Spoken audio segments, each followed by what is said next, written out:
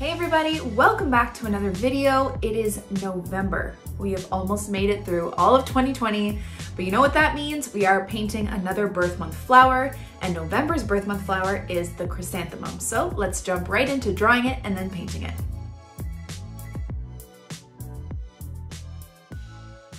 Okay, so to start, I'm just gonna go through my materials for the drawing portion. I'm actually gonna be drawing and painting in my Etchr Lab Cold Press Watercolor Sketchbook. I'm just gonna do the sketch here and the watercolor part here. And then you need a pencil and an eraser and then some black pen. So you can do this with just one or whatever black pen you have like laying around. I'm using my Tombow mono drawing pens in a size 03, size 01. There's just a difference in the size nibs. Um, and I like to do the outline with the bigger and then the shading with the smaller nib. Okay, so let's jump in. Now this is a bit more of a difficult flower. I'm gonna be honest here. Makes me a little nervous. Um, so we need to take our time and be patient.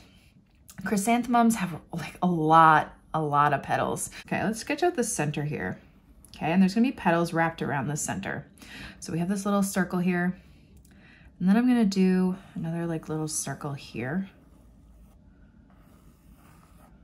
And then just another bigger one here. Okay, these are just guidelines. So for this center circle, the petals are gonna be quite tight together. So you're gonna see the bottom of these petals. So we're just gonna start doing little petals wrapped tightly around this center.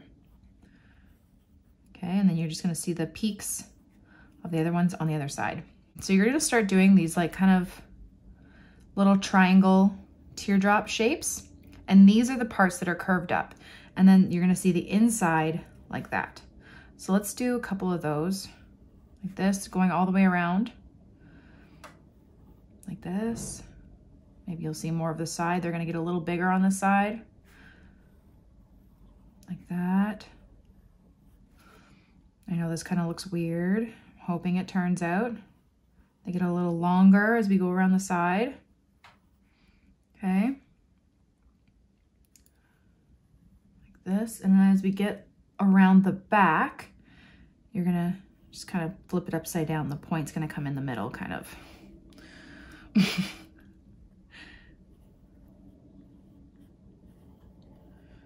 okay, like this. And then you're gonna connect them to the center of that petal. So the inside Okay, so it's like these petals are kind of like folded.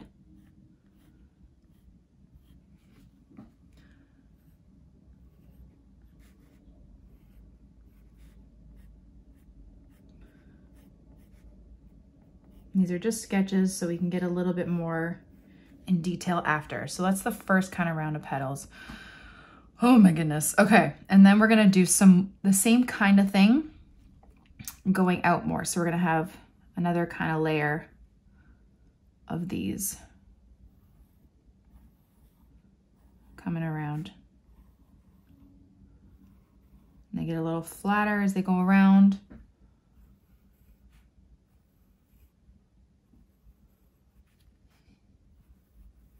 A little scoopier. And then as we get back here, you're just gonna see the tops of them.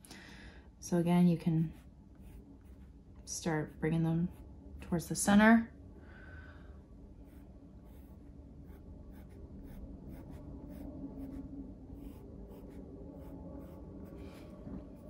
Okay.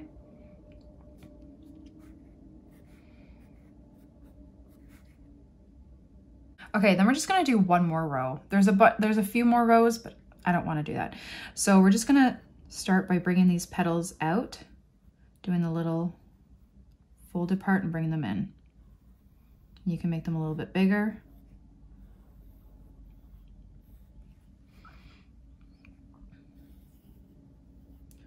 This is not my favorite flower. I don't know if you can tell. I'm more of, I, I think I'm also just really impatient. I don't like things that take a long time. And this is one of those things that will, so Hopefully my looser painting of this flower will be a bit faster. So you can come up and then come right down, cut it off there. So it's like you're seeing the side of it. Kind of like a pea, and then add an extra little.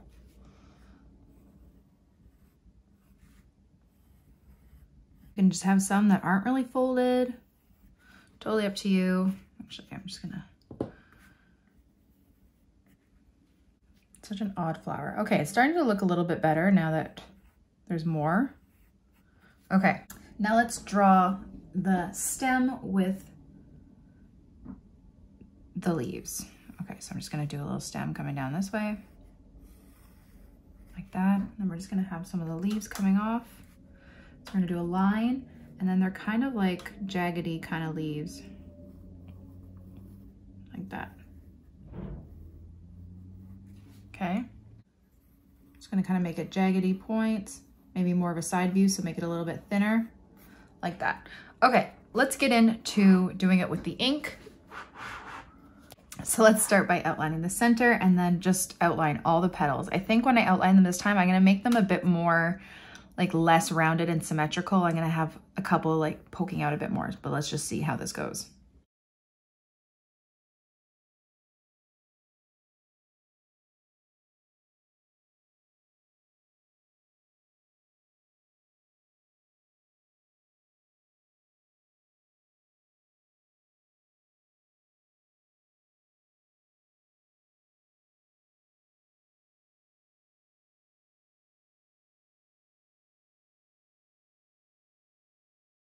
Okay, so we're done the petals and let's just outline this stem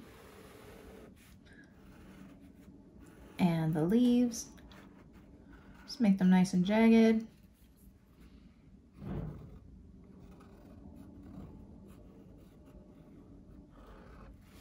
Like so. Okay, so now that we are done all that, let's erase those pencil marks.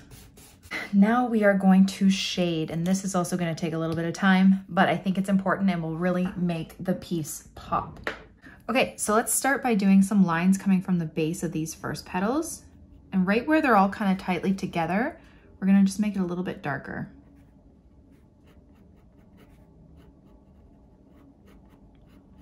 And curve some of those lines with the shape of your petal. And then as they're close together here, you're just gonna do some more shading. Let's make it a little bit darker behind those first petals.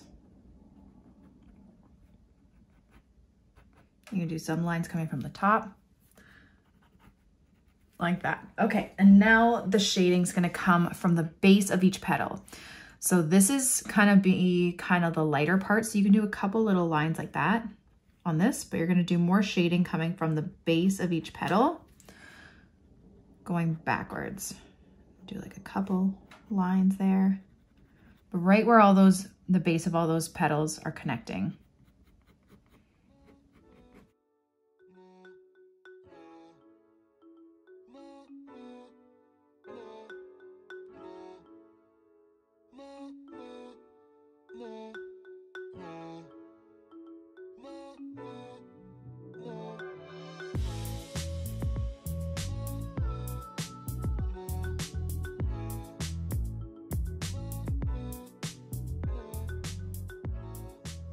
Okay, there we go.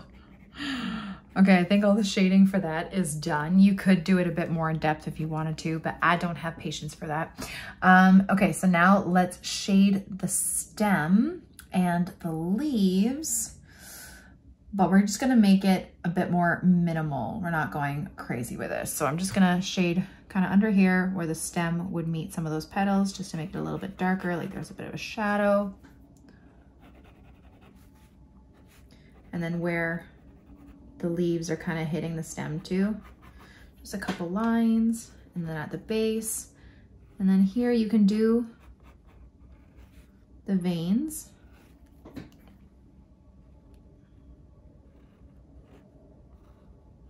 Like that. And if you want to just kind of do a little bit of line shading you have to, but you can, I don't, you don't have to, I mean. Um, yeah, I'm just gonna keep it simple like that. Okay, so now that we're done drawing that crazy flower, we are going to paint it and I'm still using my Etchr Lab Cold Press Watercolor Sketchbook. I have my Princeton Snap brushes, brush right here in a size six round, and my Winsor & Newton Professional Watercolors. Let's do this. We're gonna make it a bit more loose because I don't wanna go through all of that again. Um, and I think we're gonna go for a lighter, like a yellowy orange color. So let's start with some cadmium orange. And I'm just gonna this needs to be stuck back in there. I'm gonna take some of that color off and I'm just gonna start by, again, doing that center. Little kind of strokes going around. Okay, like that, with a lighter wash to start. Okay, so we're gonna keep doing that. And then we're gonna, just in this like ball kind of shape. Okay, we're gonna have some shorter ones back here, like the tips of those petals. Like that.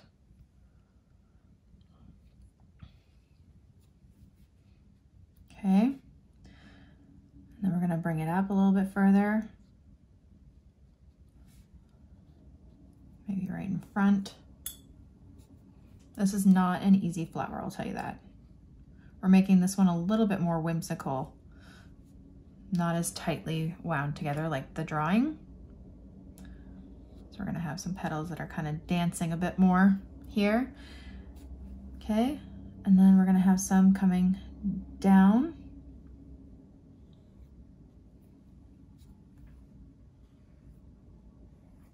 Like so. I just grabbed a bit more pigment there changing up the values, so doing some lighter, some darker. Okay, like that. So you're gonna do some up, some down, like these petals are starting to fall.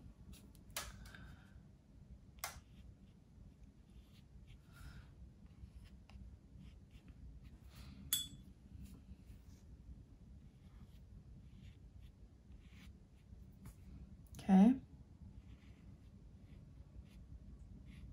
Now I'm gonna grab a bit of cadmium red. I'm gonna do some more. You can tap it to some of those wet parts. And then you can do some petals with this color on its own. Not too many, you don't want too many to blend into each other. Okay. Curve it. Just very loose. Okay, and then I'm gonna wait for those to dry and then we'll do a couple more, making them a bit sharper. But for now, let's wait for that to dry and we'll do our stem. So I'm just gonna grab some sap green here. Actually, maybe I'll do some hooker's green and dioxazine purple to get a darker green. Okay, and I'm just gonna go down. And then we're gonna do some of the leaves. You're gonna come off of that stem.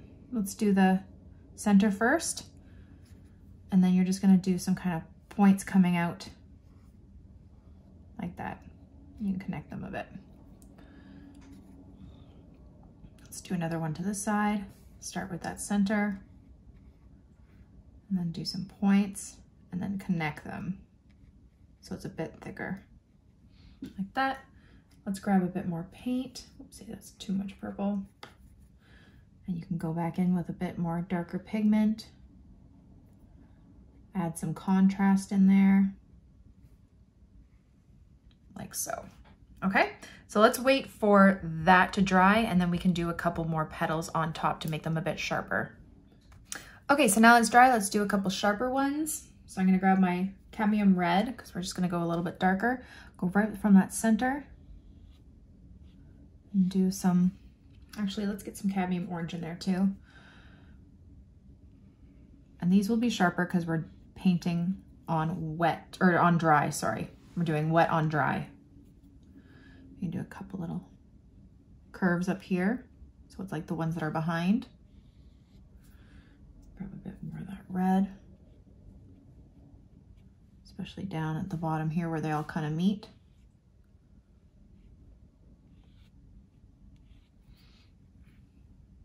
Okay, I might even grab my orange.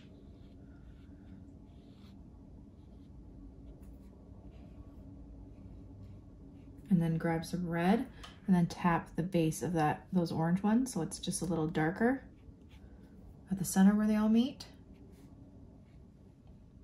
And just do those short little ones right there. Okay, and there you go. Let's grab a bit of a darker color so I have this like burgundy color here and I just mix it a bit with my red and I'm just gonna tap just a little bit where they all kind of meet just to create a bit of shadow. And then maybe in the center here, like that. And then some of those darker bits can be coming down just a little bit too. Like that. And there you go. There is your watercolor chrysanthemum and your drawing. Thank you all so much for watching my video. I really hope you liked it and I hope you learned something. Don't forget to subscribe to this channel and follow me on Instagram for even more. Have a great day, guys. Bye.